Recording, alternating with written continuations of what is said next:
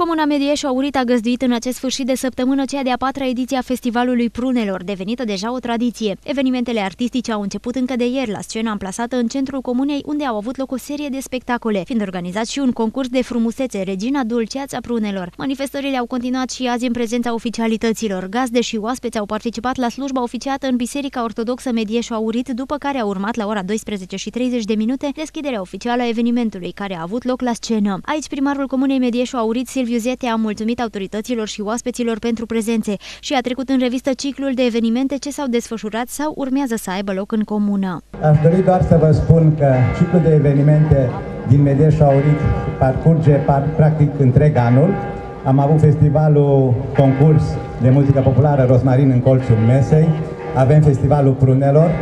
Profit de ocazie să spun că peste o săptămână vom avea sărbătorirea a 80 de ani de activitate corală în Medieș Aurit și pot să spun că avem multe valori, multe tradiții, multe din ele încă necunoscute de către noi, deși sunt pe teritoriul nostru. Sper să reușim să punem în valoare cât mai mult valorile Medieșului Aurit și Medieșul să fie acolo unde trebuie să, să fie din totdeauna, un uh, loc plăcut, un loc căutat, un loc de care satul mare să fie mândru, un loc care să fie vizitat și să se dezvolte din punct de vedere turistic. Da, este o sărbătoare deja intrată în tradiția comunei.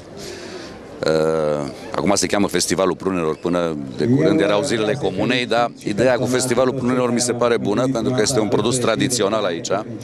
Sunt uh, destul de multe produse care se, se fac din uh, prune și promovarea asta și la nivel național a acestei sărbători este o idee binevenită, sperăm să aducă cât mai mulți turiști pe zona asta.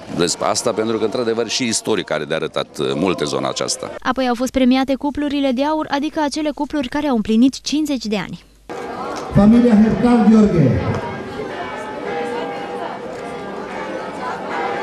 Programul a continuat cu manifestările artistice la scenă, cu programul artistic susținut de elevii școlii gimnaziale George Coșbuc Medieș Aurit, precum și alți interpreți capete de afiș fiind Ionela Toma, Petrică Mureșan, Tudor Todus și Tave Colen. Spectacolele s-au încheiat cu un joc de lasere și foc de artificii. În paralel a avut loc și un concurs gastronomic, în care gospodinele din Medieș Aurit s-au întrecut în a face dulceață de prune.